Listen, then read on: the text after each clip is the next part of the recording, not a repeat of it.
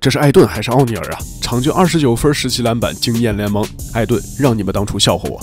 尼克斯一百零五比九十三开拓者，这结局属于意料之中。然而之前一直被嘲讽的艾顿又一次硬了起来，他全场二十一中十二，轰下三十一分、十四篮板的大号两双，再次当选空砍群群主。算上这场比赛，艾顿近四战场均二十九分、十七篮板，确实对得起他统治者的外号了。在之前战胜老鹰的比赛中，艾顿就表示：“我更加有统治力了。我知道很多人用统治者的外号取笑我，但现在这已经是事实了。感谢这些黑粉们。”有人可能会说：“不过是连续四场吃顿饺子嘛，有什么可吹的？”然而，艾顿变身波特兰奥尼尔已经不是一天两天了。自从全明星赛后，艾顿场均可以砍下二十四分、十五篮板的豪华两双，命中率也来到恐怖的百分之六十四。